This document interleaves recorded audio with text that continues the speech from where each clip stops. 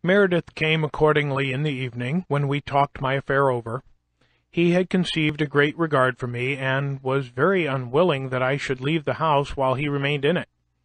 He dissuaded me from returning to my native country, which I began to think of. He reminded me that Keimer was in debt for all he possessed, that his creditors began to be uneasy, that he kept his shop miserably, sold often without profit for ready money, and often trusted without keeping accounts, that he must therefore fall, which would make a vacancy I might profit of. I objected my want of money. He then let me know that his father had a high opinion of me, and, from some discourse that had passed between them, he was sure would advance money to set us up, if I would enter into partnership with him. My time, says he, will be out with Keimer in the spring. By that time we may have our press and types in from London. I am sensible, I am no workman. If you like it, your skill in the business shall be set against the stock I furnish, and we will share the profits equally. The proposal was agreeable, and I consented. His father was in town and approved of it, the more as he saw I had great influence with his son, had prevailed on him to abstain long from dram drinking, and hoped might break him of that wretched habit entirely. I gave an inventory to the father, who carried it to a merchant. The things were sent for, the secret was to be kept till they should arrive, and in the meantime I was to get work, if I could, at the other printing house.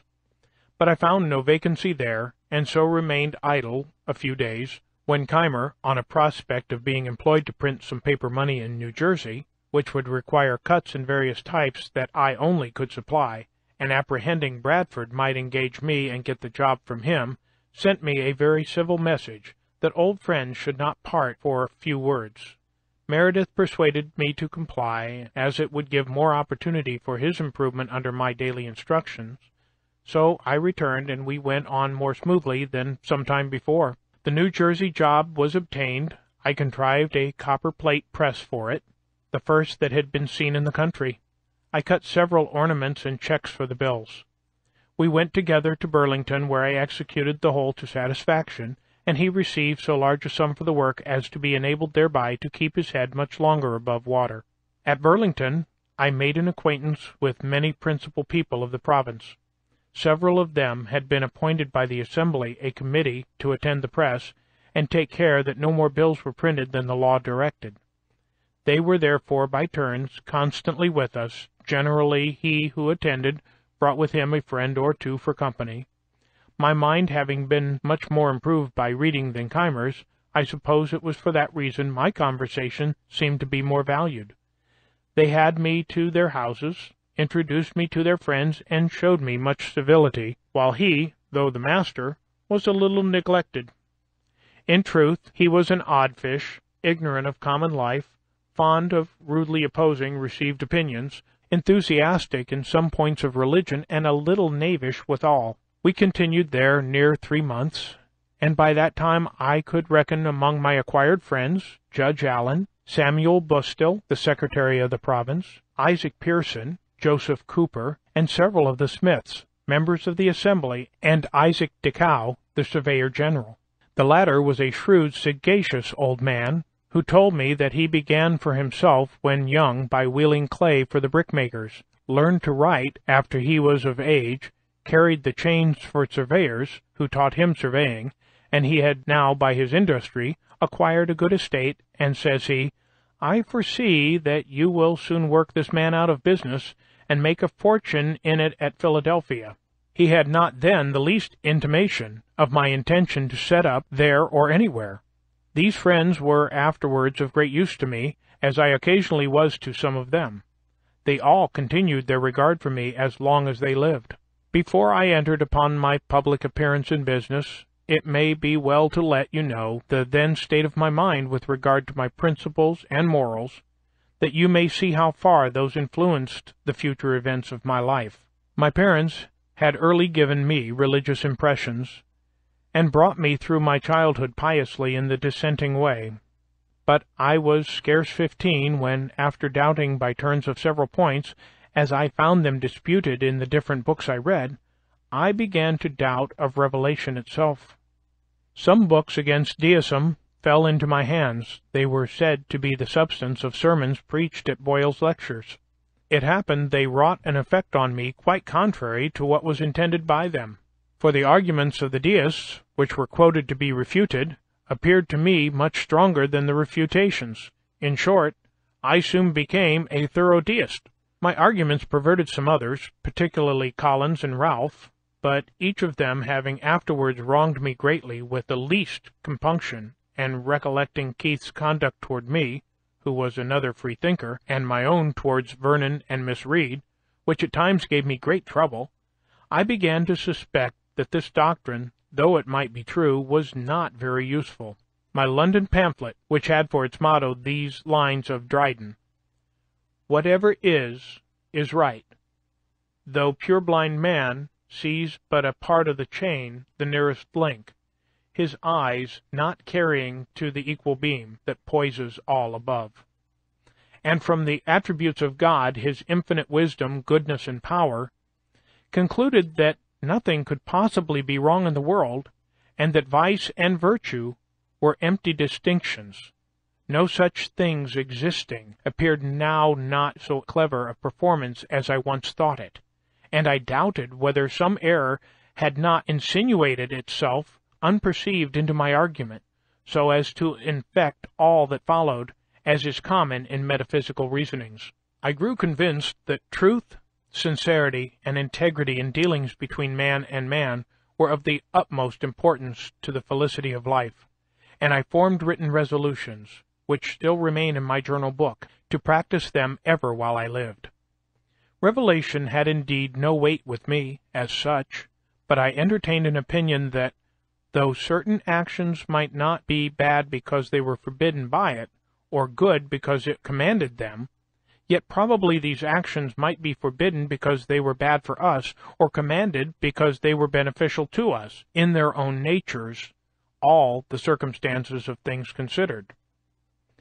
And this persuasion, with the kind hand of Providence, or some guardian angel, or accidental favorable circumstances and situations, or altogether preserved me through this dangerous time of youth, and the hazardous situations I was sometimes in among strangers, remote from the eye and advice of my father, without any wilful gross immorality or injustice that might have been expected from my want of religion. I say wilful because the instances I have mentioned had something of necessity in them, from my youth, inexperience, and the knavery of others. I had therefore a tolerable character to begin the world with, I valued it properly, and determined to preserve it. We had not long returned to Philadelphia before the new types arrived from London. We settled with Keimer and left him by his consent before he heard of it we found a house to hire near the market and took it. To lessen the rent, which was then but twenty-four pounds a year, though I have since known it to be let for seventy, we took to Thomas Godfrey, a glazier, and his family, who were to pay a considerable part of it to us. We had scarce opened our letters and put our press in order before George House, an acquaintance of mine, brought a countryman to us, whom he had met in the street inquiring for a printer.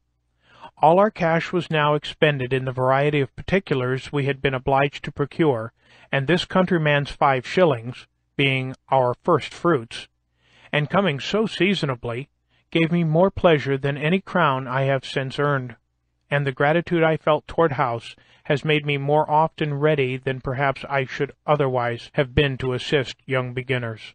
There are croakers in every country, always boding its ruin, such a one then lived in Philadelphia, a person of note, an elderly man with a wise look, a very grave manner of speaking. His name was Samuel Mickle. This gentleman, a stranger to me, stopped one day at my door and asked me if I was the young man who had lately opened a new printing house. Being answered in the affirmative, he said he was sorry for me because it was an expensive undertaking and the expense would be lost for Philadelphia was a sinking place. The people already half bankrupts, or near being so, all appearances to the contrary, such as new buildings and the rise of rents, being to his certain knowledge fallacious, for they were, in fact, among the things that would soon ruin us.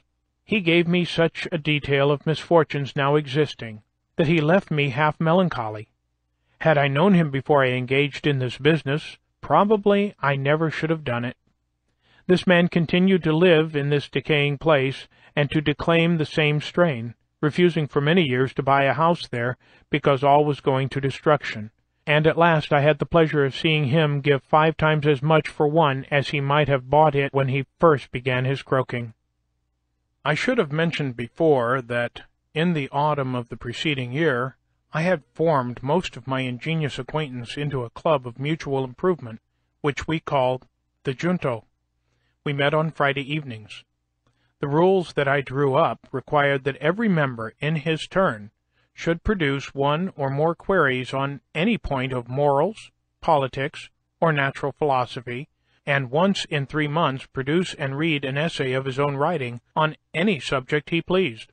Our debates were to be under the direction of a president, and to be conducted in the sincere spirit of inquiry after truth, without fondness for dispute, or desire of victory, and to prevent warmth, all expressions of positiveness in opinions, or direct contradiction, were after some time made contraband and prohibited under small pecuniary penalties.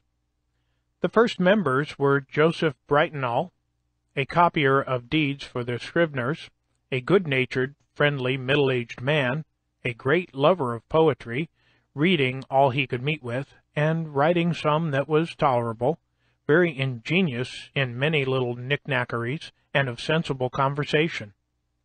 Thomas Godfrey, a self-taught mathematician, great in his way, and afterward inventor of what is now called Hadley's Quadrant. But he knew little out of his way, and was not a pleasing companion, as, like most great mathematicians I have met, he expected universal precision in everything said, or was forever denying or distinguishing upon trifles to the disturbance of all conversation.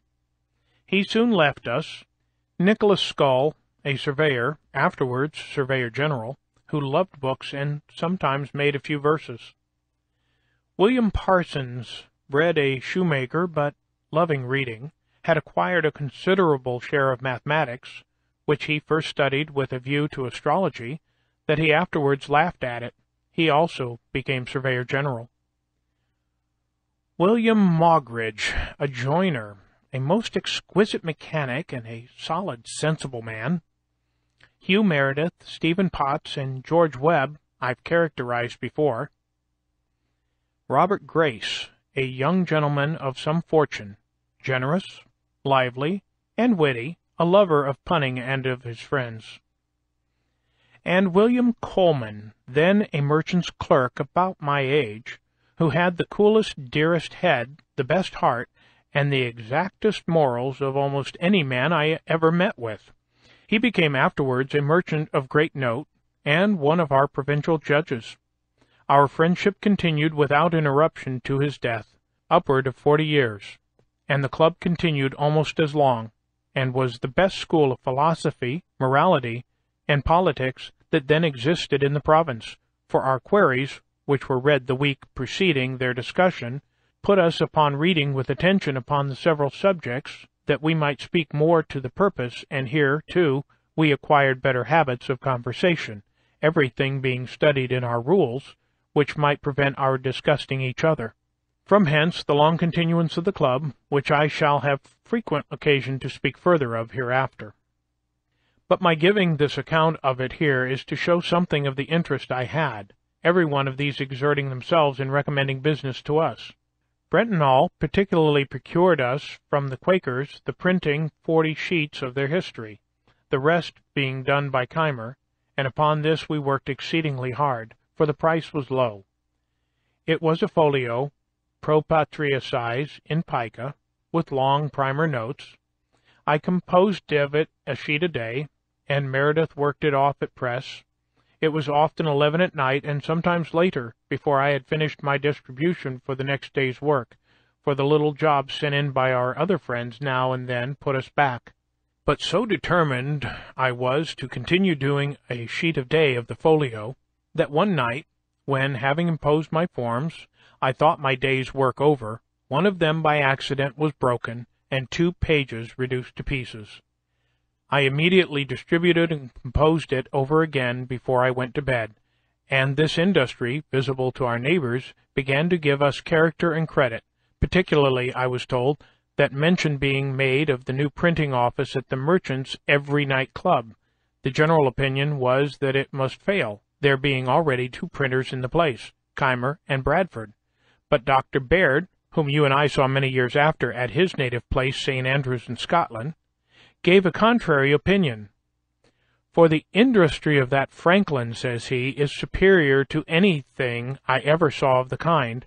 I see him still at work when I go home from the club, and he is at work again before his neighbors are out of bed.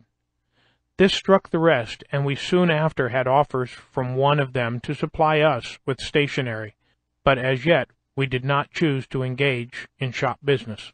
I mention this industry the more particularly and the more freely, though it seems to be talking in my own praise, that those of my posterity, who shall read it, may know the use of that virtue, when they see its effects in my favor throughout this relation. George Webb, who had found a female friend that lent him wherewith to purchase his time of Keimer, now came to offer himself as a journeyman to us. We could not then employ him, but I foolishly let him know as a secret that I soon intended to begin a newspaper, and might then have work for him.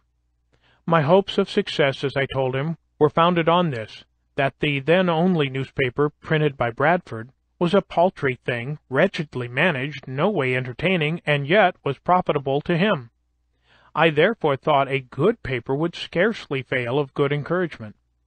I requested Webb not to mention it, but he told it to Keimer, who immediately, to be beforehand with me, published proposals for printing one himself, on which Webb was to be employed. I resented this, and, to counteract them, as I could not yet begin our paper, I wrote several pieces of entertainment for Bradford's paper under the title of The Busybody, which Breintnal continued some months. By this means the attention of the public was fixed on that paper, and Keimer's proposals, which we burlesqued and ridiculed, were disregarded. He began his paper, however, and, after carrying it on three quarters of a year, with at most only ninety subscribers, he offered it to me for a trifle, and I, having been ready for some time to go on with it, took it in hand directly, and it proved in a few years extremely profitable to me. I perceive that I am apt to speak in the singular number, though our partnership still continued. The reason may be that, in fact, the whole management of the business lay upon me. Meredith was no compositor, a poor pressman and seldom sober. My friends lamented my connection with him, but I was to make the best of it.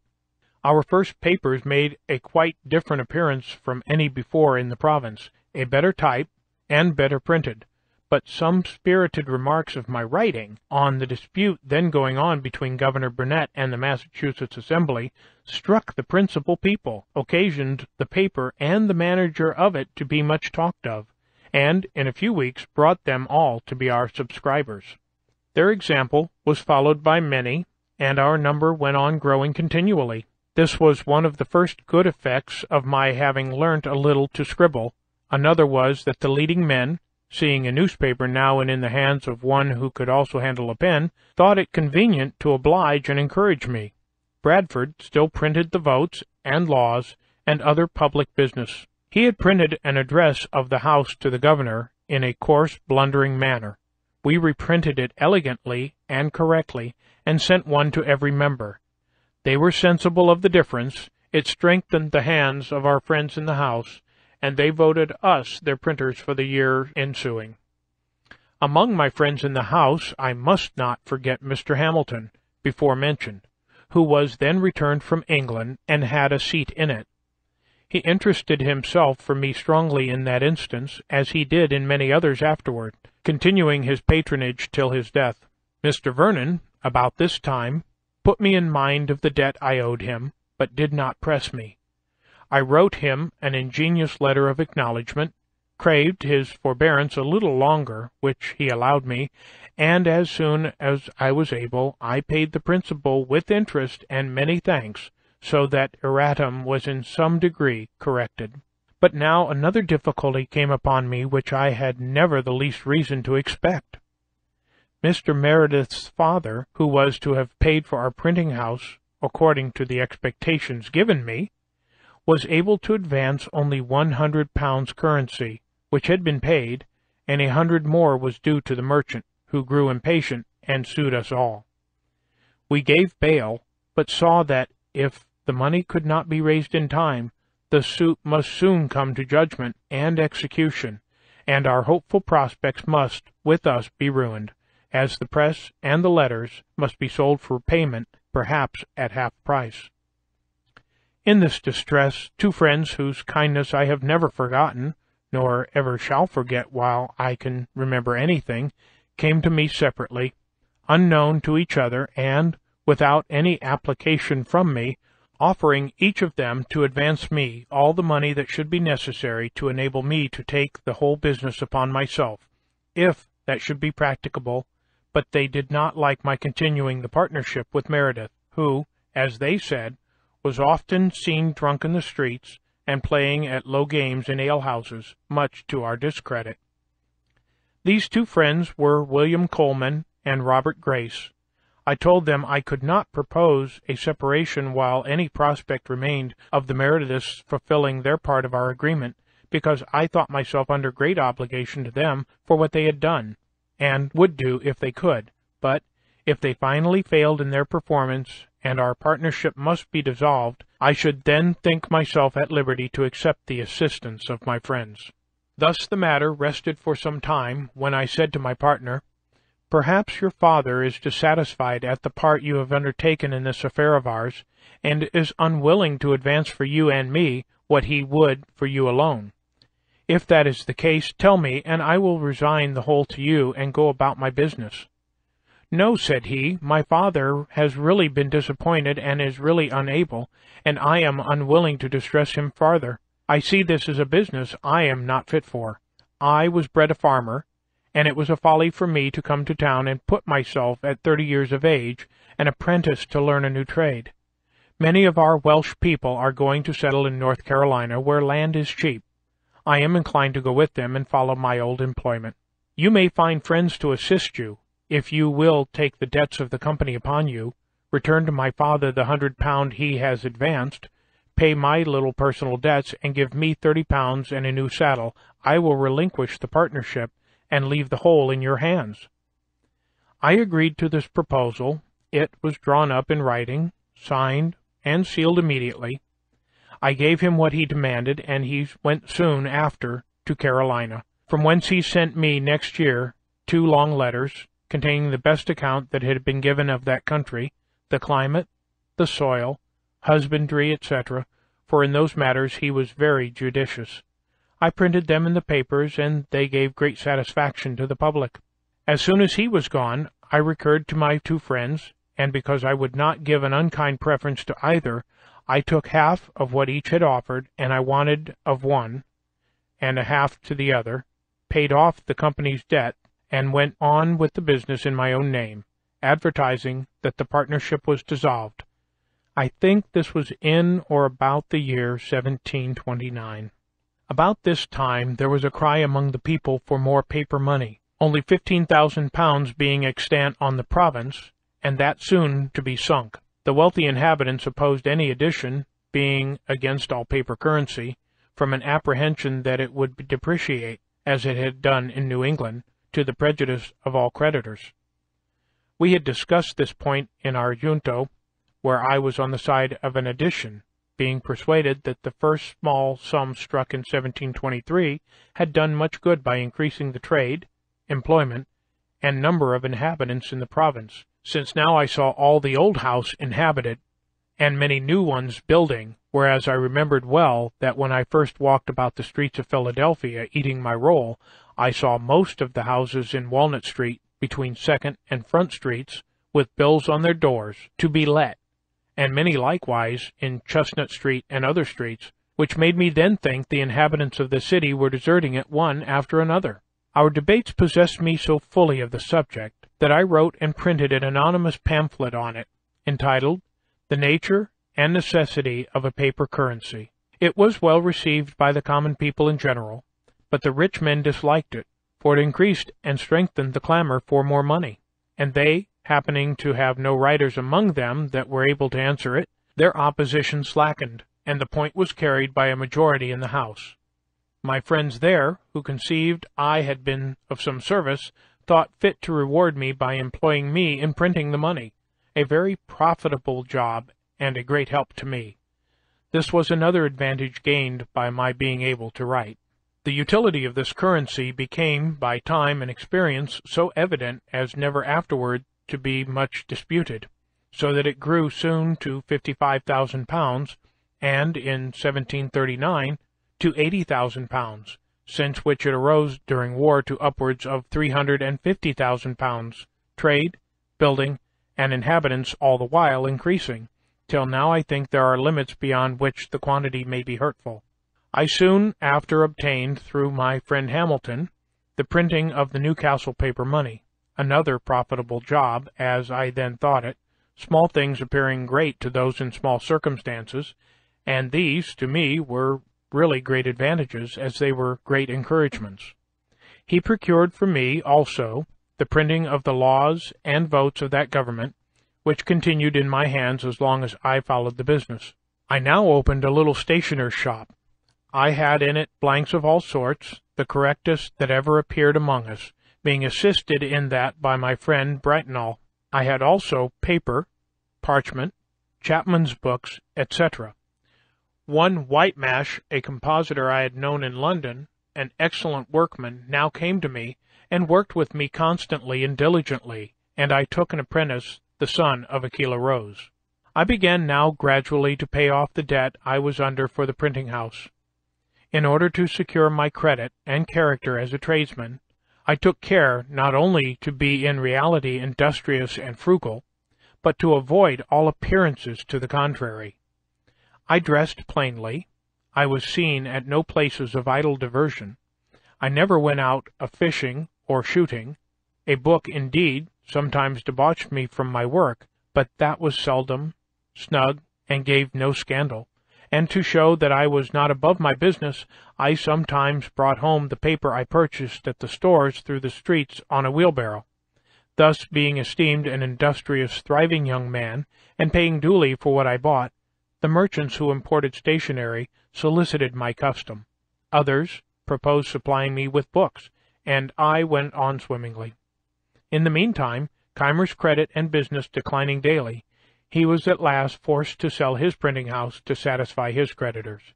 He went to Barbados and there lived some years in very poor circumstances. His apprentice, David Harry, whom I had instructed while I worked with him, set up in his place at Philadelphia, having bought his materials. I was at first apprehensive of a powerful rival in Harry, as his friends were very able and had a good deal of interest. I therefore proposed a partnership to him, which he, fortunately for me, rejected with scorn. He was very proud, dressed like a gentleman, lived expensively, took much diversion and pleasure abroad, ran in debt, and neglected his business, upon which all business left him, and, finding nothing to do, he followed Keimer to Barbados, taking the printing house with him. There this apprentice employed his former master as a journeyman, they quarrelled often, Harry went continually behindhand, and at length was forced to sell his types and return to his country work in Pennsylvania. The person that bought them employed Keimer to use them, but in a few years he died. There remained now no competitor with me at Philadelphia but the old one, Bradford, who was rich and easy, did a little printing now and then by straggling hands, but was not very anxious about the business. However, as he kept the post office, it was imagined he had better opportunities of obtaining news, his paper was thought a better distributor of advertisements than mine, and therefore had many more, which was a profitable thing to him, and a disadvantage to me. For though I did indeed receive and send papers by the post, yet the public opinion was otherwise, for what I did send was by bribing the writers, who took them privately. Bradford being unkind enough to forbid it, which occasioned some resentment on my part, and I thought so meanly of him for that, that When I afterward came into his situation, I took care never to imitate it. I had hitherto continued to board with Godfrey, who lived in part of my house with his wife and children, and had one side of the shop for his glazier's business, though he worked little, being always absorbed in his mathematics. Mrs. Godfrey projected a match for me with a relation's daughter, took opportunities of bringing us often together, till a serious courtship on my part ensued, the girl being in herself very deserving. The old folks encouraged me by continual invitation to supper, and by leaving us together till at length it was time to explain. Mrs. Godfrey managed our little treaty. I let her know that I expected as much money with their daughter as would pay off my remaining debt for the printing house, which I believe was not then above a hundred pounds. She brought me word they had no such sum to spare. I said they might mortgage their house. The answer to this, after some days, was that they did not approve the match, that, on inquiry of Bradford, they had been informed the printing business was not a profitable one, the types would soon be worn out, and more wanted, that S. Keimer and D. Harry had failed one after the other, and I should probably soon follow them, and therefore I was forbidden the house and the daughter shut up. Whether this was a real change of sentiment or only artifice, on a supposition of our being too far engaged in affection to retract, and therefore that we should steal a marriage, which would leave them at liberty to give or withhold what they pleased, I know not. But I suspected the latter.